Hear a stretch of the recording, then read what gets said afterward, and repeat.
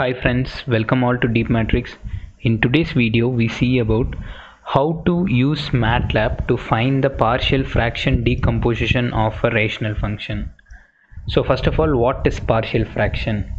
Partial fraction is nothing but breaking down of a larger rational fractions into smaller simpler fraction as for example here we have a rational function 7x minus 23 divided by x square minus 7x plus 10 if we break this fraction into simpler fraction we get a value 4 by x minus 5 plus 3 by x minus 2 so when you uh, multiply these two fractions so we will get this as output. So in partial fraction expansion we are doing the reverse thing uh, breaking down the larger fraction into smaller parts.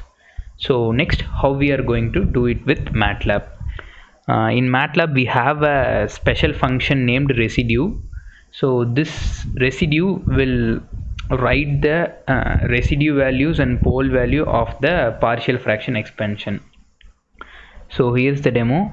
So here we have a numerator 7 minus 23 so in in MATLAB we don't need to mention those x and all because uh, instead of mentioning the uh, variable names we are using the variables coefficient. So 7 and minus 23 so this is taken from here.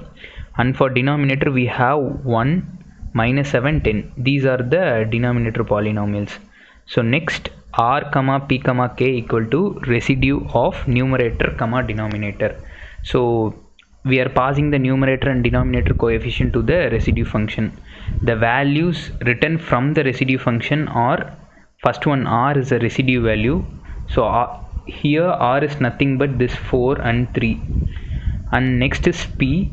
So p is nothing but 5 and 2 um, here you can see uh, r values are taken as such but whereas uh, after getting the value of p we need to put a minus before that because it is in the format s minus p s minus p2 that's it.